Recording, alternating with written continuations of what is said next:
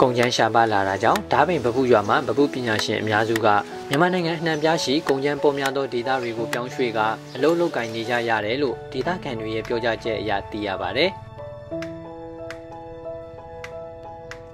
ရန်ကုန်တိုင်းဒေသကြီးလှဲကူးမြို့နယ်အတွင်းရှိဓားပိန်ပပူးရွာဟုလူတီများသောဓားပိန်မြို့ရှိဒေသခံအများစုမှပပူးလုပ်ငန်းဖြင့်အသက်မွေးဝမ်းကြောင်းပြုနေသူတွေဖြစ်ကြပါတယ်။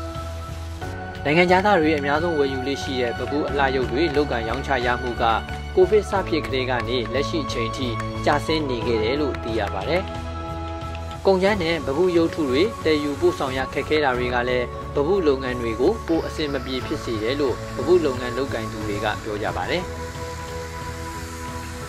မြန်မာတုခုမှာအမှုပညာရည်များဖြစ်သောပန်းဆယ်မျိုးထဲမှာတစ်ခုပါဝင်ဖြစ်တဲ့ပပုဆိုဒီမှာတစ်သားစင်စွဲ ဖျောင်းစတဲ့ဝိတုပစ္စည်းများကိုရုံလုံးရုပ်ကြွထွင်းထူးသည့်ပညာရဲ့ဖြစ်ပါတယ်။တေသားဗပုထုလို့ရမှာကျွန်းပြင်ကရိုကုတ်ကိုဗရောက်ရင်းတိုက်စသည့်တေသားတင်းမြင့်စုံများနဲ့ဗပုရုပ်ထုများကိုပုံဖော်ထုစစ်ကြတာဖြစ်ပါတယ်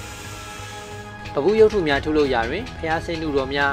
လူယုတ်နတ်ယုတ်မြမာယုတ်တရားယုတ်ဘလူးယုတ်ဂလုံးနဂါကိန်းနီကိန်းနီယာများအပြင် စင်ယုတ်ချင်းတရုတ်စသည့်တလိษံယုတ်လုံးများကိုဒေတာပတ်ဝန်းကျင်အငွေအသက်နှင့်ရိုးရာရင်ကျေးမှုအစဉ်အလာအတိုင်းပုံဖော်ထုလုပ်ကြလျက်ရှိပါတယ်